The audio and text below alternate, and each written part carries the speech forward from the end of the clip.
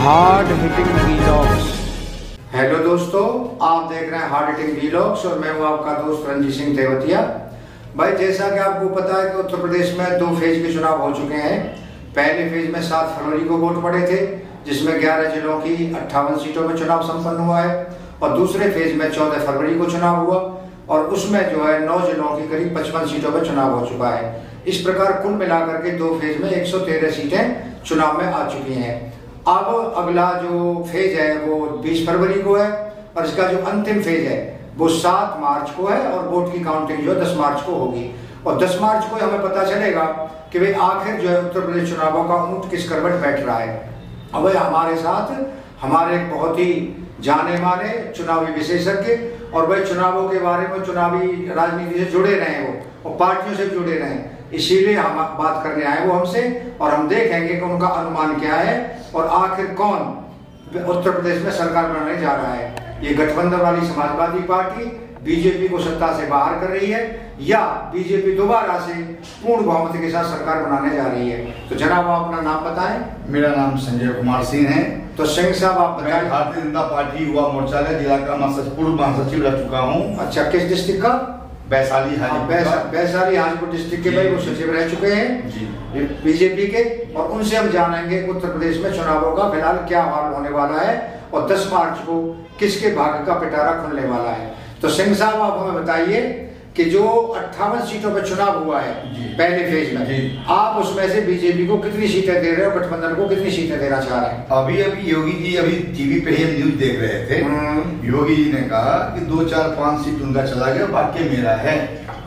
मतलब कहने का मतलब पचपन सीट में से हाँ। पाँच सीट उनका जाएगा पचास मेरा है क्योंकि तीन सौ सुपर सीट में ला रहा हूँ बीजेपी का अच्छा अच्छा ठीक है अच्छा अच्छा हाँ तो ये तय है कि योगी जी ने अच्छा कार्य किया है हम्म। अच्छा काम किया है हम्म। तो अच्छा वोट मिलेगा जनता को निगाह को चाहिए काम करने वाला को मजदूरी मिलता है। हाँ। जो व्यक्ति काम नहीं करेगा वो मजदूर को क्या मजदूरी मिलेगा? हाँ बिल्कुल। तो यहाँ का जब भी देखते हैं घोटाला हो या छापामारी होता है जो भी होता है हम्म, अखिलेश जी का पार्टी निकलता है। हम्म, और बीजेपी ने खोज खोज के निकाल रहा है। हम्म। जनता के पैसा वही तो अनाज वितरण हो रहा है। डबल जो हर महीने राशन मिल रहा है हाँ, दो बार दो दो बार वो कहाँ से मिल रहा है हाँ। अगर ये छापेमारी का पैसा नहीं आएगा तो हम्म। कहाँ से मिला कोरोना की इंजेक्शन कहाँ से पड़ेगा हम्म, आप बताइए कि सरकार के पास कोई छापा खाना का टेक्सटाइल तो है नहीं हम्म। लिमिट पैसा होता है हम्म। उससे ही कार्यक्रम चलता है हम्म। इसी को देखते हुए भारतीय जनता पार्टी कार्यकर्ता जिसमें मुस्लिम बहुमूल वोट हम्म। भी बीजेपी को मिलने जा रहा है हम्म,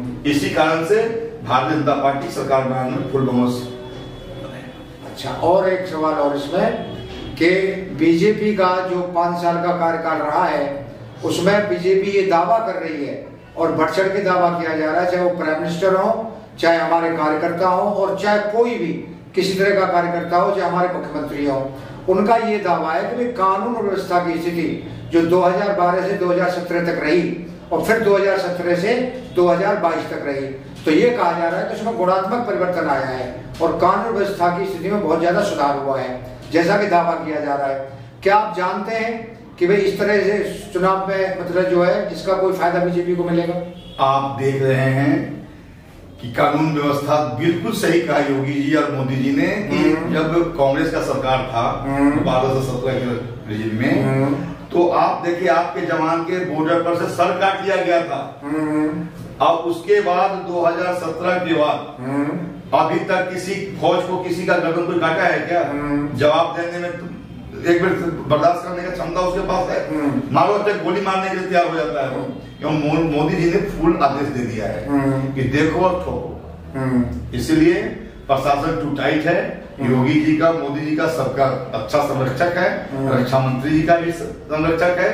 और उन्होंने अच्छा अच्छा कार्य किया है कि जहाज़ लड़ाकू विमान भी गए हैं भारत के अंदर। हम्म। इसके चक्कर में चाइना जल के हमारे मुँह नहीं खोल रहा है। हम्म, नहीं तो आप पर अटैक कर जाता क्योंकि हमसे जनसंख्या में आगे हो। हम्म, लेकिन मोदी जी ने ऐसा कार्यक्रम कर दिए कि भारत का नागरिक आराम से सोए। और रक्षा करने वाला जवान वहाँ आराम से रक्षा करे। अच्छा एक सवाल और कि जो माफियावादी परिवारवादी तमंचावादी गुंडावादी इस तरह के शब्दों से नवाजा गया समाजवादी पार्टी को प्रधानमंत्री के द्वारा भी और मुख्यमंत्री जी के द्वारा भी क्या आप मानते हैं कि वास्तव में वो माफियावादी और परिवारवादी तो कर है लेकिन माफियावादी तमंचावादी गुंडावादी और जो उगाही करने वाले ऐसी पार्टी साबित हो रही समाजवादी पार्टी बिल्कुल सही आपने कहा हम्म कि जो उनके कार्यकाल में हम्म आपके जो ये ने, जितने नेता लोग हैं हम्म जब भैंस की चोरी होती है तो प्रशासन उसके पीछे घूमता है। खोजने के लिए। बीजेपी के साथ में ऐसा नहीं होता है। यह माफियावादी का काम है। बीजेपी में आराम से लोग सहन से सो रहे हैं। हम्म। माफिया का राज गया योगी का राज आया और सुकून से ज़िंदगी जी रहा है। न तो जो माफिया थे उसको योगी जी ने जोजर चला के हम्म नीलामी करके संपत्ति को सरकार के पास हवाले किया और माफिया को भीतर किया जेल में। इसीलिए प्रशासन ने टूटल काम किया है योगी जी ने काम किया है। और जनता सुकून से सो रहा है अभी। मज़ा ले रहा है। बहु बेटियों का इज़्ज़त सम्मान के लिए भी योगी जी ने बहुत अच्छा काम किया है कि रात में बहु बेटी जहाँ जाने की इच्छा करे, वहाँ जा सकती, आ सकती है। अच्छा हम कार्यक्रमों के बारे में एक सवाल और करेंगे आपसे कि जो उज्ज्वला योजना है, उसके उसके अंतर्गत जो है कुछ गैस सिलेंडर बांटे गए हैं, बेघरों को मकान दिया गया है, दो बार राशन भी मिल रहा है, और जो वृद्धाजन पेंशन है और विधवा पेंशन है, वो भी मिल रही है। और अब एक वायदा और किया गया है कि भाई जितने भी बारहवीं पास लड़के हों या लड़कियाँ हों उन सबको मोबाइल और लैपटॉप से लेस किया जाएगा। क्या आप जानते हैं कि इन योजनाओं का भारतीय जनता पार्टी को चुनाव में कोई लाभ मिलने की संभावना है? बिल्कुल देखिए अगर जो स्टूडेंट पढ़ने लायक योग लड़का होगा हम्म। जो लड़की होगी उसको ज़रूर मिलेगा। मिलना ज़रूरी है क्योंकि हर हर बच्चे को मोबाइल तक कितने परिवार ऐसे गरीब व्यक्ति हैं कि हम्म। मोबाइल देखा ही नहीं है अभी तक हम्म। तो उसको तो मोबाइल चाहिए लैपटॉप चाहिए जो व्यक्ति के पास नहीं जो पैसे वाले अपने बच्चे को दे रखे हैं हम्म। जिसके पास नहीं है वो गरीब बच्चे को मिलना भी बहुत ज़रूरी है अच्छा। ये तो लैपटॉप तो शिक्षा की दिशा में है तो हम्म। मिलना ज़रूरी है अच्छा एक सवाल और इसमें कि ऐसा कहा जा रहा है बीजेपी के द्वारा कि जो महिलाओं का वोट प्रतिशत है वो उत्तर प्रदेश के चुनाव में ज़्यादा बढ़ रहा है और महिलाएँ पिछले चुनाव में भी 2017 में भी, महिलाओं के वोट प्रतिशत की संख्या, जो वोट डाले गए थे, वो पुरुषों की संख्या से ज़्यादा थी। और अब के भी ऐसा ट्रेंड बन रहा है कि महिलाओं का वोट प्रतिशत जो है पुरुषों से ज़्यादा है। और बीजेपी ये दावा कर रही है कि हमें उन महिलाओं का वोट प्रतिशत ज़्यादा है कि हमें महिलाओं के प्रतिशत के ज़्यादा वोट मिल रहे हैं। क्या आप मानते हैं कि ये बात सच है? हंड्रेड परसेंट सत्य इसलिए है कि तीन तलाक का जो काम किया गया महिलाओं की रक्षा के लिए हम्म। उस पर बीजेपी के मुस्लिम महिला जो है हम्म। बीजेपी को वोट करती है हम्म। हिंदू तो करती ही थी। लेकिन महिला का जो वोट बदत आया है। वो मुस्लिम वोट से बदत आया है क्योंकि तीन तलाक को बंद किया गया। इसलिए आया है इसलिए बीजेपी को फुल बहुमत मिल के सरकार बना रहा है में अच्छा ये आरोप लगाया जा रहा है कि बीजेपी वोटों का ध्रुवीकरण कर रही है पोलराइजेशन ऑफ़ वोट्स का मतलब है कि अगर मुस्लिम और यादव जो एम वाई समीकरण समाजवादी पार्टी का, उन्हें, उनका तो एम ब्लॉक वोट हो गया मुस्लिम का। लेकिन ये दावा किया जा रहा है कि बीजेपी ध्रुवीकरण के प्रयास कर रही है कि अगर मुस्लिम यादव वोट उस तरफ़ जाते हैं तो पूरा हिंदू वोट पर हमें पड़ जाना चाहिए। और ये आरोप लगाया जा रहा है कि बुरका का जो मामला था, ये इसीलिए बीजेपी के द्वारा उठाया गया। इसमें कितनी सच्चाई आप मानते हैं? आप देख रहे हैं कि जो समाजवादी पार्टी के अखिलेश जी हैं हम्म। वो मुसलमानों के नाम पे जी रहे हैं हम्म। मुसलमानों के चर्चा कर रहे हैं हम्म, तो देखा गया कि भाई तुम यादव हो या मुस्लिम हो एकत्र हो गए हो। इसलिए तब योगी जी ने हिंदू का वोट का इशारा किया। कि जात पात की लड़ाई होने लगी। तो भाई चलो ऐसा करो तुम लोग मिलके हिंदू। वोट डालो। जब यादव जी ने गांधी अखिलेश यादव जी ने की मुस्लिम मेरा है तो भाई तेरा है तो ठीक है। और उसने पाकिस्तान का चर्चा उठा दिया बार बार। इसलिए जनता नाखुश होकर बीजेपी को वोट कर हाँ। तो जनाब, एक बात और आपसे पूछनी थी कि पहले तो आप बता दें कि ये 403 सीटें हैं जिन चुनाव संपन्न होने जा रहा है। 2017 में यानी ऐसा लगा था और पता नहीं चल रहा था कि बीजेपी की लहर है, क्या है, कोई अंडर करंट चल रहा है, ऐसे कुछ पता नहीं चला था। और हंग असेंबली का जितने भी पोल आए थे एग्जिट पोल आए हों चाहे आपके शुरू में ये पोल हुए हों, इन सब में ये कहा जाता है कि बीजेपी की कोई लहर नहीं है और 200 के आसपास या 150 के आसपास बीजेपी रुक जाएगी और हंग असेंबली आएगी त्रिशंकु विधानसभा आएगी। लेकिन क्या आपको ऐसा लग रहा है कि बीजेपी की इन चुनावों में कोई अंडर करंट चल रही है या कोई तूफ़ान चल रहा है सुनामी चल रही है, जैसा कि बीजेपी द्वारा दावा किया जा रहा है? सुनामी तो चल ही रहा है। तीन तलाक का मामला जो था उसमें अंदाज नहीं था कि महिलाओं जो है मुस्लिम समाज का महिला वोट करेगी। हम्म, जब उन्होंने वोट किया तब तो इसका रिकॉर्ड बीच हो गया कि भाई इतना महिला वोट की है। जी। तो इसलिए तो क्लियर है कि महिला वोट जो पूर्ण रूप से करेगी तो ऑटोमेटिक है कि बीजेपी आगे जाएगा। अच्छा एक बात और। आप 403 सीटों में से किस तरह पार्टीज़ में चाहे बहुजन समाज पार्टी है कांग्रेस है और बीजेपी है और समाजवादी पार्टी ये चार प्लेयर है मेन प्लेयर है। इन चार प्लेयर में किस प्रकार आप सीटों का बंटवारा करते हैं तीन सौ से ऊपर तो जाएगा बीजेपी का हम्म। पचास से साठ समाजवादी का होगा हम्म। फिर मायावती जी का हो जाएगा हम्म। और एक दो तीन चार पाँच नाम निर्दलीय हो जाएँगे तो इसका मतलब टू थर्ड मेजोरिटी से हाँ सरकार बिल्कुल है हंड्रेड परसेंट इस बात को मान ले जनता को ही मानना पड़ेगा और वोटिंग जो भी हुआ है पैतालीस से पचपन सीट पर जो हुआ है।